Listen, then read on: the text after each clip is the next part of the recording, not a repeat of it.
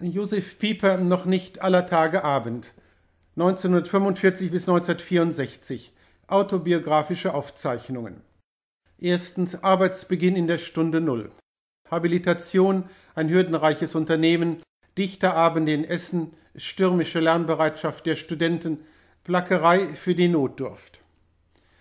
Der Militärlastwagen, der mich Anfang Juli 1945 aus meiner seltsamen Kriegsgefangenschaft nach Münster brachte, hielt vor einer Kaserne am Stadtrande und setzte mich ab.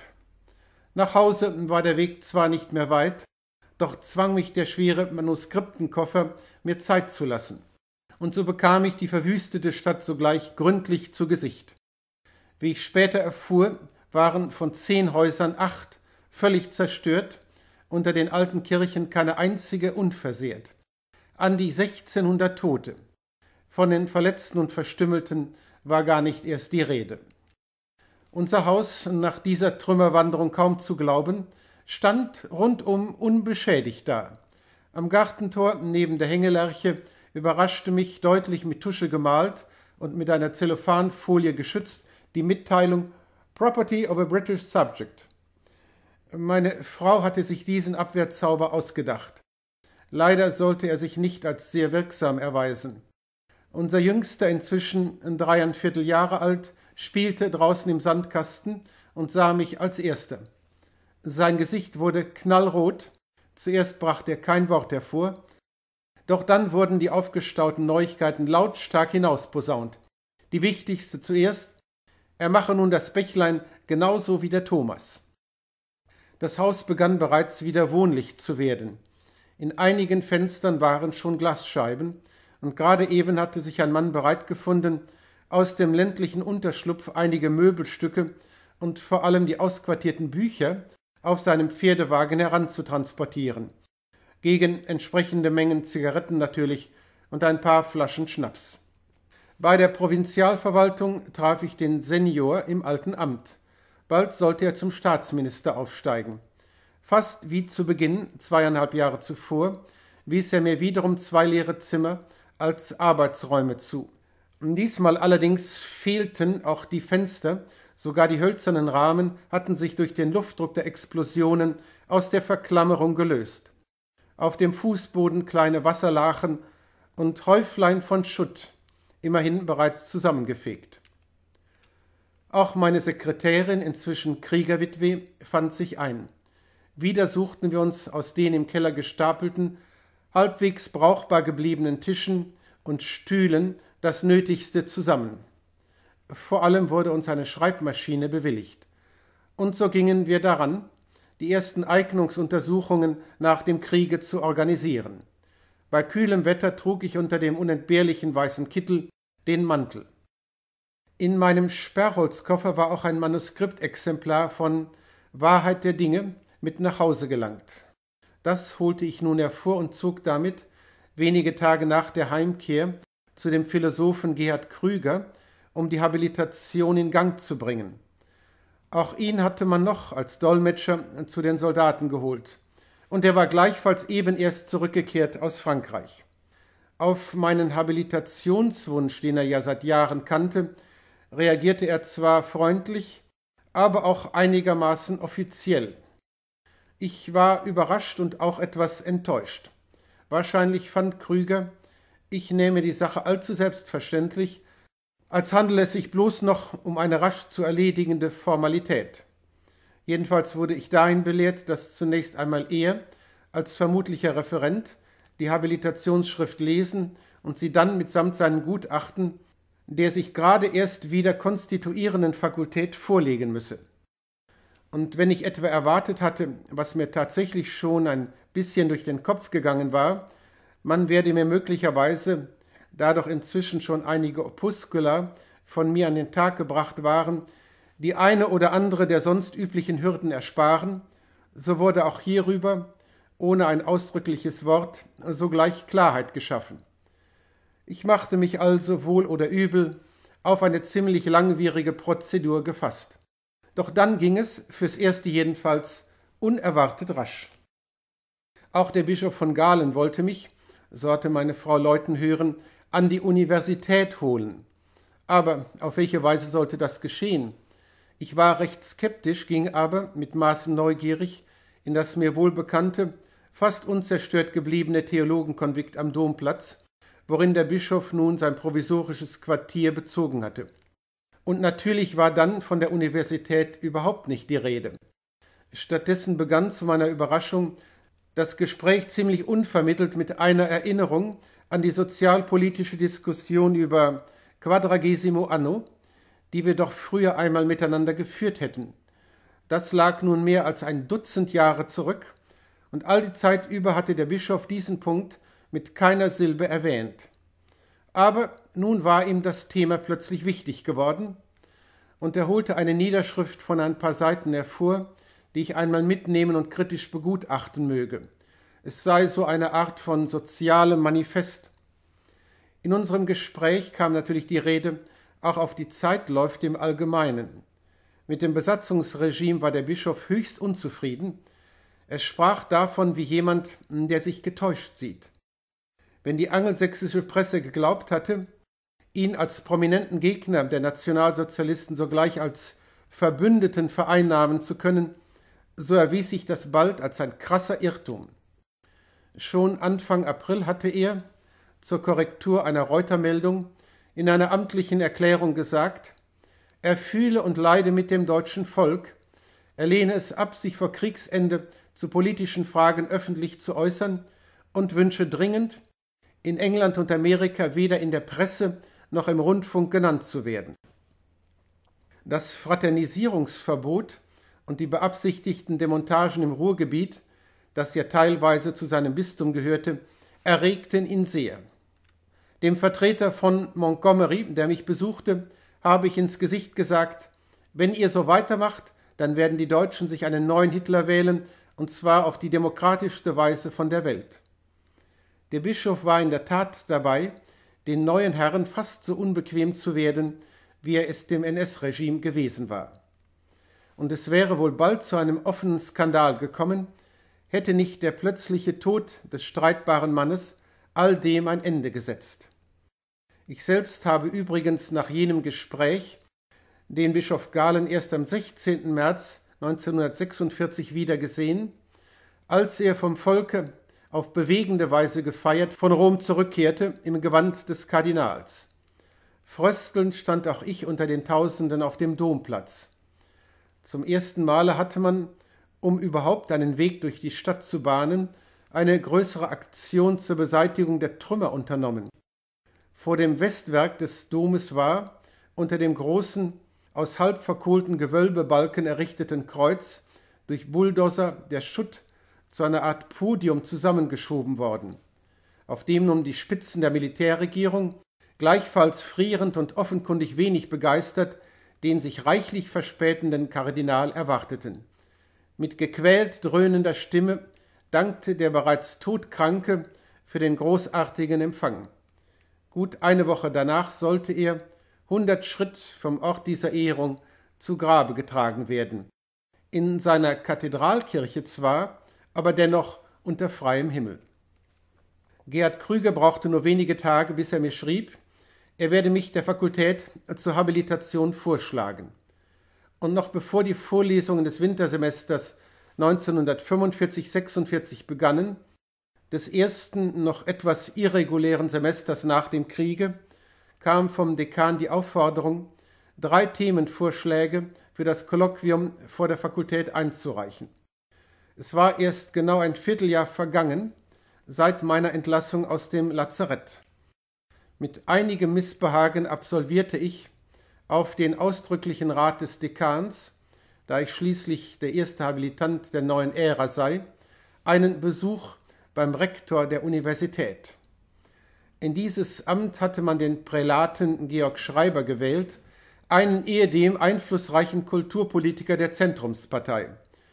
Schon zur Zeit meiner Promotion hatte ich seinen Versuchen, mich zu protegieren, beharrlich widerstanden, und so erwartete ich jetzt keinen besonders freundlichen Empfang. Doch nahm der Prälat zugleich lebhaft interessiert meine Habilitation als taktische Aufgabe, wie er sagte, und sprach sogar von einem nun zu entwerfenden Schlachtenplan. Ich erwiderte, im Augenblick sei mir kein Gegner bekannt und zu irgendwelchem strategischen Vorgehen bestehe wohl kaum ein Anlass. Darauf erzählte er einiges Anekdotische über die vergeblichen Versuche der Machthaber, ihn zu fassen. Aber der Kaplan war schneller. Nach gut einer Viertelstunde wurde ich mit leicht distanzierter Verbindlichkeit verabschiedet. Natürlich hatte ich während dieser Monate den vollen Arbeitstag lang Dienst zu tun. Manchmal war ich eine ganze Woche zu Eignungsuntersuchungen unterwegs, übrigens auch in Bigge. Und rückblickend frage ich mich, was mir eigentlich an Zeit verblieben sein kann für die Vorbereitung auf das einigermaßen anspruchsvolle Unternehmen der Habilitation.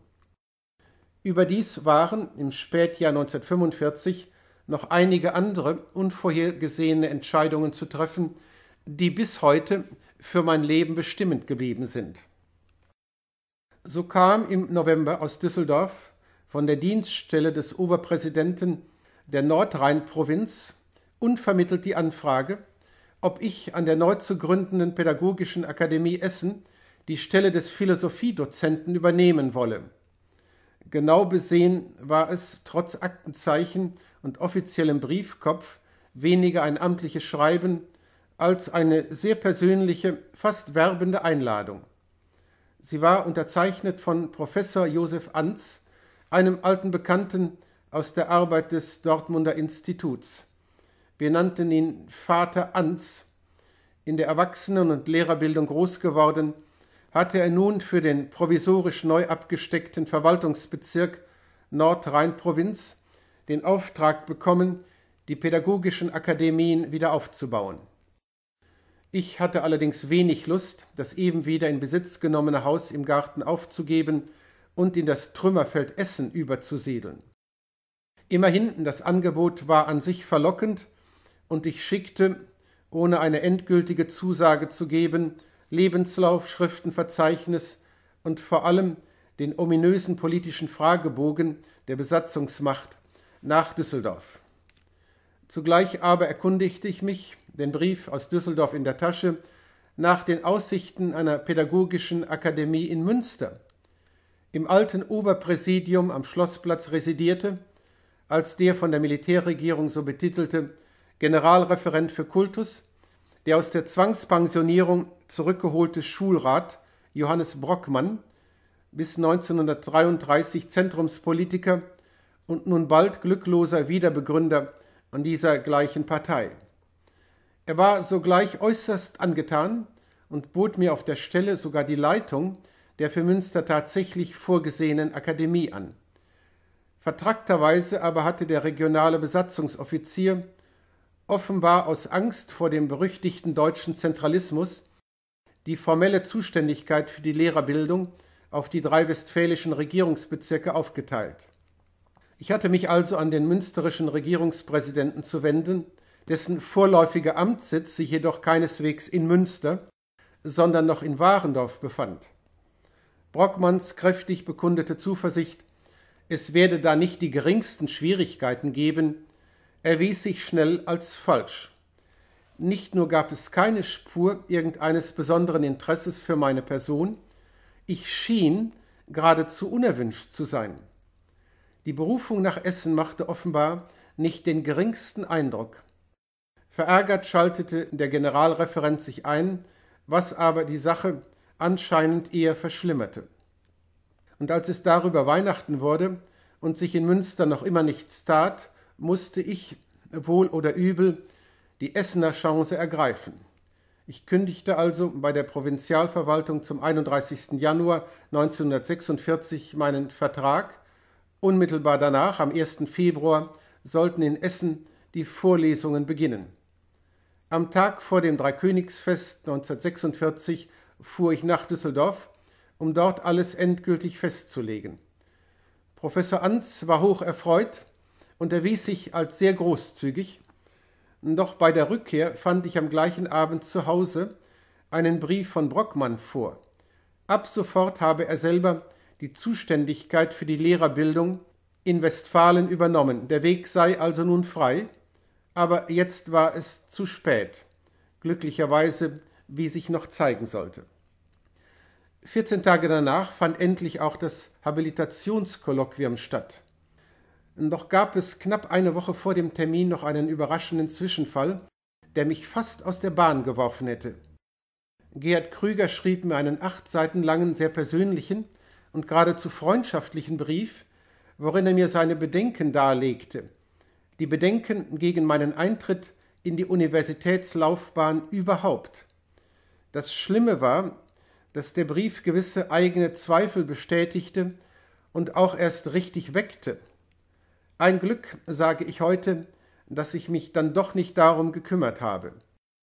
Krügers Brief begann damit, was mir sogleich verdächtig war, meine schriftstellerischen Qualitäten zu rühmen, die Fähigkeit, verschollene Gedanken zu vergegenwärtigen und meine philosophische Gesinnung. Aber dann kam die Rede auf das vom Universitätslehrer zu fordernde wissenschaftliche Handwerk und die gelehrte Forschung. Beides sei offenbar weit weniger meine Sache.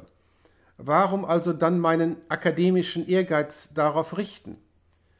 Er nannte dann, ob als Vorbilder oder warnende Beispiele, das war mir nicht ganz klar, bedeutende philosophische Outsider wie Theodor Hecker und Romano Guardini.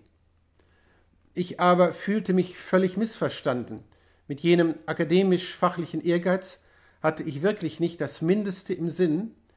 Damals allerdings war es mir noch nicht hinreichend deutlich, wie wenig hier meine persönliche Problematik zur Rede stand oder doch nicht sie allein, sondern eigentlich die Position der Philosophie innerhalb des Wissenschaftsbetriebs der Universität überhaupt.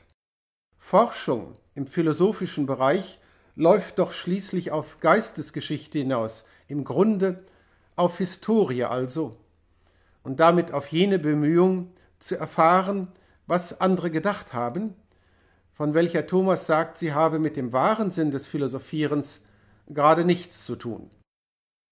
Ich hatte diesen seinen Satz, dessen Pikanterie übrigens darin liegt, dass er ausgerechnet in einem Kommentar zu Aristoteles steht, schon 1940 meinem Essay über Thomas von Aquin vorangestellt. Zwar habe ich mir immer einen tiefen und dankbaren Respekt bewahrt vor dem stets präsenten Einzelwissen und der gelehrten Mühsal des Fachmanns, der über eine in seinem Revier vollständige Kenntnis auch des jeweils neuesten Schrifttums verfügt. Aber Philosophie stand für mich seit je unter einem anderen Zeichen. Und als philosophischer Lehrer im Raum der Universität mein Wort sagen zu können, darum war es mir jetzt zu tun. Dass ich dabei dem Bilde des Gelehrten und auch des Universitätsprofessors nicht völlig und vielleicht überhaupt nicht entsprechen würde, war mir durchaus bewusst. Doch nahm ich das, wenngleich immer wieder einmal leicht aufgestörten Gewissens, in Kauf.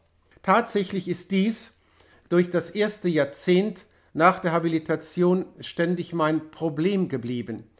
Wie kann ich, ohne zum Professor zu werden, dennoch legitimerweise Universitätslehrer sein? Und auch später als Ordinarius habe ich mich zum Beispiel nicht ein einziges Mal darauf eingelassen, eine Doktorpromotion zu betreuen, wie ich auch niemals Direktor eines Seminars oder gar eines Instituts gewesen bin. Aber zu jenem höchst kritischen Zeitpunkt, da ich, überlastet durch vielerlei Beanspruchung, Gerd Krügers Brief zu lesen bekam, lagen solche Entwicklungen und besonders einige gar nicht erwartbare, hilfreiche Glücksfälle allesamt noch in der Zukunft. Für den Augenblick jedenfalls war ich tief betroffen und sogar ein wenig verstört. Wie gesagt, fast hätte ich resigniert. Der Theologe Josef Pascher, mit dem ich einigermaßen ratlos meine Sorgen besprach, empfahl mir ungerührt, mich selbst zu prüfen und dann genau das zu tun, was ich als richtig erkannt hätte. Ein langes Gespräch mit Krüger, von beiden Seiten resolut und ohne Zimperlichkeit geführt, brachte die Sache dann ins Reine. Er gab mir sogleich zu, es sei in der Tat unmöglich, seine Bedenken erst jetzt zu äußern, während der bereits in Gang gesetzten Prozedur. Und nun solle die Sache also in Gottes Namen ihren Lauf nehmen. Kolloquium war natürlich nur eine diskretere Bezeichnung für eine Art Examen, und es ging sogar die Rede, dass einzelne Professoren dabei als Prüfer zu fürchten seien. Tatsächlich hat Heinrich Scholz, der Logistiker, es nicht unterlassen, mir die dann klassisch gewordene Prüfungsfrage vorzulegen, wann der Satz Es gibt Marsmenschen wahr sei. Heinrich Scholz war übrigens eine der merkwürdigsten Figuren, die mir an der Universität begegnet sind. Zur Zeit meiner Habilitation verfocht er besonders entschieden die Loslösung der Naturwissenschaften aus der damals noch einheitlichen philosophisch-naturwissenschaftlichen Fakultät. Vor allem wollte er selbst, wie es dann auch kurze Zeit später geschah, mit seiner mathematischen Grundlagenforschung auf die Seite der exakten Wissenschaften übersiedeln. Er pflegte sogar zu sagen, er schäme sich, ein Philosophieprofessor genannt zu werden. Ursprünglich evangelischer Theologe, bei Adolf von Harnack habilitiert war er, stets befeuert vom Ideal der möglichst exakten Aussageform, zur philosophischen Fakultät übergetreten, um sie dann später aus genau dem gleichen Impuls wieder zu verlassen, sozusagen durch die seinem Eintritt diametral gegenüberliegende Tür. Allerdings wurden seine Aussagen, je konsequenter er sie formalisierte, notwendig immer ärmer an Inhalt. Und da Heinrich Scholz zugleich eine, außer vom religiösen, stark durch das musische geprägte Persönlichkeit blieb, geriet ihm dies alles nur um den Preis einer etwas verkrampften Skurrilität, die bis in die Redeweise und Gestik reichte. Sein oftmals beschworenes Bild vom Philosophen im Arbeitskittel war eine im Grunde romantische Vorstellung, und das programmatisch verwandte Gefühl schlüpfte ihm durch die Hinterpforte seiner zahlreichen Aphorismen, oft genug zur Sentimentalität entartet, wieder hinein.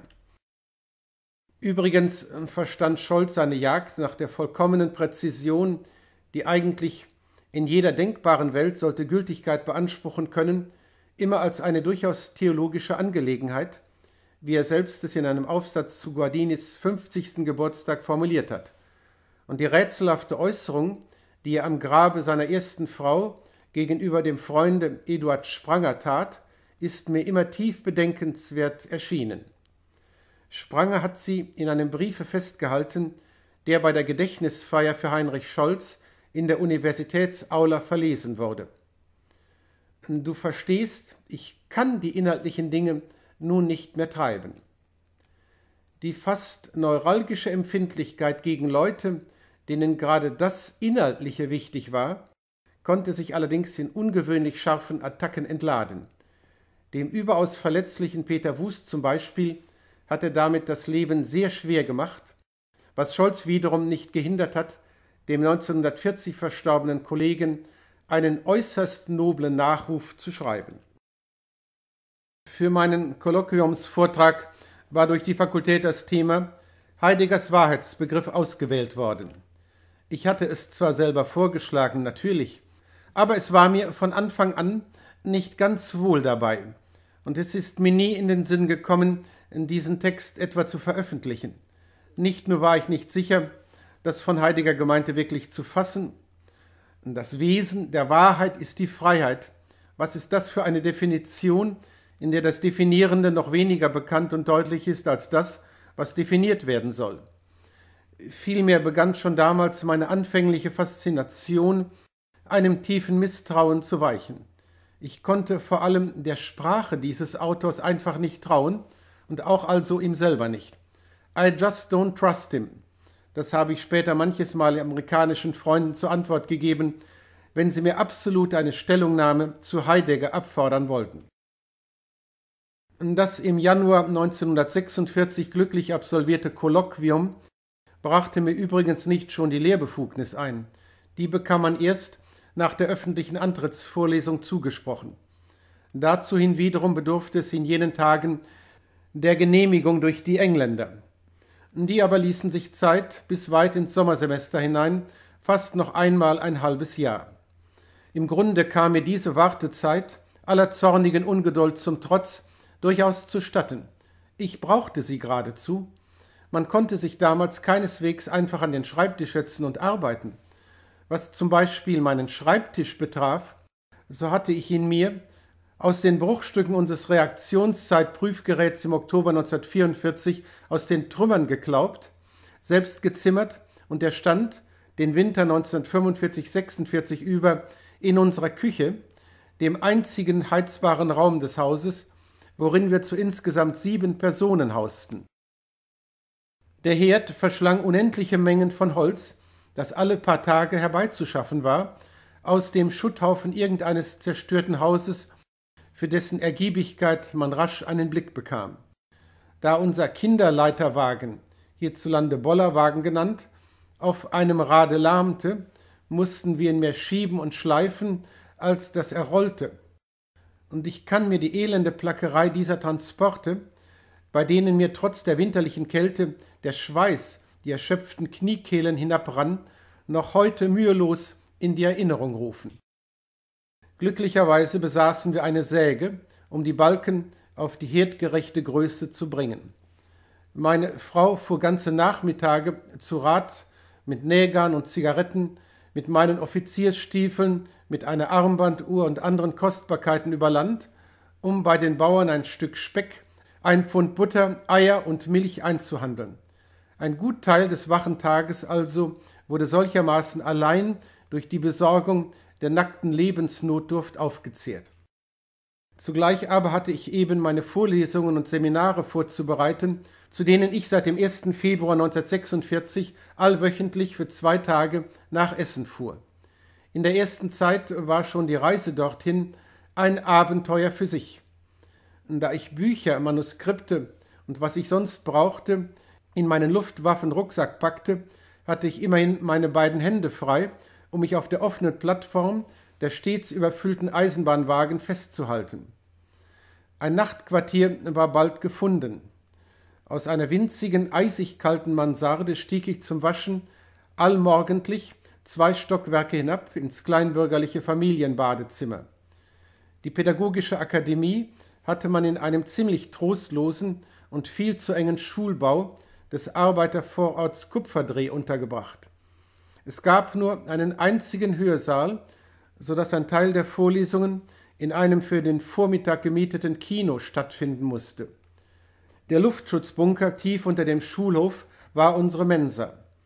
Mittags defilierte eine lange Schlange von Studenten und Dozenten an dem riesigen Bottich vorbei, aus dem man seinen Teller gefüllt bekam. Ein armseliger Bücherbestand nannte sich Bibliothek. Keiner der Dozenten verfügte über einen eigenen Arbeitsraum, und die Studenten wussten kaum, wo sie in den Pausen und der vorlesungsfreien Zeit bleiben sollten. Im Sommer hockten sie draußen auf der Schulhofmauer. Es war also offenbar nicht der äußere Komfort, der die ersten Nachkriegsjahre dennoch zu einer unvergleichlich glücklichen Zeit intensiven Lernens und Lehrens gemacht hat. Eine so vehemente geistige Neugier, wie sie diese Studentengeneration auszeichnete, die sich da in ihren auf Befehl der Besatzungsmacht unansehnlich umgefärbten Militäruniformen in die Vorlesungen und Seminare drängte, ist mir jedenfalls später niemals mehr begegnet. Freilich stand unser Start in Essen unter einem besonders glücklichen Stern. Erstens konnten wir uns aus zehn studentischen Bewerbern die drei besten aussuchen. Für mehr war zunächst schlechterdings kein Platz. Vor allem aber war die Atmosphäre des Hauses von Anfang an dadurch bestimmt, dass die Lehrenden im menschlichen wie im prinzipiellen unerwartbar gut zueinander passten. Dass dies durch mehr als ein Jahrzehnt so blieb und zur Wirkung kam, war klarerweise das Verdienst von Helene Helming, die vom Gründungstage an mit der Leitung der Akademie beauftragt war. Früh mit der katholischen Jugendbewegung verbunden, hatte sie in den 20er Jahren zusammen mit Romano Guardini die Zeitschrift Die Schildgenossen herausgegeben. Und obwohl für lange Zeit aus dem Beruf gedrängt, war sie vom Fach, vor allem durch ihre Arbeit über Maria Montessori, international bekannt. Und wenn bei Dozenten wie Studenten der Stil des mitmenschlichen Umgangs ein wenig jener heiteren Ehrerbietung entsprach, die Goethe gepriesen hat, dann war dies zweifellos der persönlichen Überlegenheit und der ausgleichenden Kraft dieser Frau zu danken. In meinen Vorlesungen und Seminaren lebte ich natürlich zunächst von der Hand in den Mund. Doch hat, wenn die Lebenswende schon überschritten ist, solcher elementare Neubeginn auch sein Gutes. Für das Seminar über Platons Symposion zum Beispiel kam mir der simple Einfall, anhand von Otto Apels Platon-Index festzustellen, in welchen Dialogen die jeweils auftretenden Personen sonst noch vorkommen und was sie dort sagen, wodurch sich dann einzelne Figuren, etwa die des Kriton, zu unvermutet konkreter Lebendigkeit rundeten. Als ich später Guardini beiläufig von dieser Methode berichtete, schlug er sich vor die Stirn. Auf die Idee hätte eigentlich ich kommen müssen. Die weitaus schönste und auch fruchtbarste meiner Unternehmungen war ein Abendkolloquium, dessen Thema, anspruchsvoll formuliert als philosophische Poetik, hätte umschrieben werden können. Die Studenten sprachen einfach vom Dichterabend. Es begann völlig absichtslos damit, dass einer Studentin von ihren Wirtsleuten an einem Abend in der Woche das geheizte Wohnzimmer zur Verfügung gestellt wurde, für ein geselliges Treffen von fünf, sechs Freunden. Bald schon wurde auch ich eingeladen. Zu diesem Anlass hatte man sogar aus den von jedermann mitgebrachten Gaben ein richtiges Festmahl auf den Tisch gezaubert. Es fehlte nicht einmal eine Flasche Wein. Ich hatte ein paar Zeitschriften und Gedichtbücher bei mir, in denen zum ersten Mal Namen wie T.S. Eliot, Thornton Wilder, Jean-Paul Sartre auftauchten. Wir kamen ins Vorlesen und Interpretieren, und unversehens war, im genauen Anschluss an das dichterische Wort, von Gott und der Welt die Rede. Nach drei, vier Wochen war dieses Kolloquium schon zur Institution geworden. Und natürlich konnte unser Treiben nicht verborgen bleiben. So wurde eines Tages mit freundlich kritischem Nachdruck gefragt, ob die Gesprächsrunde nicht zu einer jedermann zugänglichen Einrichtung erweitert werden könne. Mir war einerseits dies breite Interesse am Philosophieren sehr willkommen, Andererseits konnte, so jedenfalls fürchtete ich, der persönlichere Gesprächsstil nicht bewahrt werden. Und als ich plötzlich in einen Kreis von mehr als hundert Teilnehmern trat, packte mich der blanke Schreck. Aber eines Augenblicks, überraschend schnell, war dann doch die ungezwungene Leichtigkeit der hin und hergehenden Rede wiederhergestellt. Und an der deutenden und wertenden Besprechung einzelner Gedichte entzündeten sich wieder die prinzipielleren Fragen nach dem Ort von Dichtung und musischer Kunst überhaupt im Ganzen des Daseins. Meine Aufforderung, nur ja nicht das, was einer spontan mag und schön findet, um des gerade modisch geltenden Willen preiszugeben, sondern im Gegenteil auch einmal den Mut zum Kitsch zu haben, führte dazu, dass mir ungeniert immer wieder einmal ein Blatt mit einem Lieblingsgedicht manchmal auch einem eigenen auf den Tisch gelegt wurde. Ich las es vor und im Nu war die lebhafteste Diskussion im Gange. Ganze Abende wurden auch durch Lesung eines einzigen Werkes gefüllt. Eliots Mord im Dom, Sartres Fliegen, Wilders kleine Stadt, einzelne Kapitel aus Thomas Manns Dr. Faustus Roman. Aber immer neu gerieten wir ins eigentliche Philosophieren, und allen trat, weit entfernt vom Pathos der fachlichen Terminologie, die Unergründlichkeit der Welt vor den Blick. Oft genug wurden an hellen Sommerabenden die Gespräche auf den Uferwegen des Baldener Sees von den Studenten dann See Genezareth genannt, so lange fortgesetzt, bis wir, wenn die Sirenen die mitternächtliche Sperrstunde anzeigten, im Sturmschritt nach Hause laufen mussten. Ich bin ziemlich sicher, dass an diesen durch viele Jahre durchgehaltenen Dichterabenden mehr philosophische Gesinnung geweckt worden ist, als in den ausdrücklich als philosophisch deklarierten Vorlesungen und Seminaren. In Münster hatte inzwischen der britische Universitätsoffizier die Genehmigung für meine öffentliche Antrittsvorlesung erteilt, die nun endlich am 5. Juli 1946 stattfand, im Auditorium der Medizinischen Klinik dem einzigen unzerstört gebliebenen großen Universitätshörsaal, worin ich auch für die nächsten Jahre meine Vorlesungen halten sollte. Das von der Fakultät gewünschte Thema lautete Philosophische Bildung und geistige Arbeit. Mit der Formulierung wollte ich diese beiden durchweg als fast synonym, jedenfalls als miteinander wohlverträglich verstandenen Begriffsbilder einander ausdrücklich entgegensetzen. Es war mir darum zu tun, das kontemplative Element im Philosophieren deutlich zu machen und den alten Begriff der Muße, Skole, mit neuen Argumenten zurückzugewinnen, gegen die Überwertung sowohl der rational-diskursiven Aktivität wie der rein sozial verstandenen Funktion des Denkens. Und ich fand es ganz in der Ordnung, dass Heinrich Scholz, wie ich später von Krüger erfuhr, nur mit kopfschüttelnder Verwunderung den starken Beifall der Hörer zur Kenntnis nehmen wollte. Übrigens war der Dekan nur durch meinen hartnäckigen Widerstand davon abzubringen, dass ich zu dieser ersten Antrittsvorlesung der Nachkriegszeit im Frack erscheinen solle. Er war sogar, da ich selbst niemals ein solches Kostüm besessen habe, gewillt, mir seinen eigenen zu leihen. Überhaupt sollte es möglichst formell und feierlich zugehen.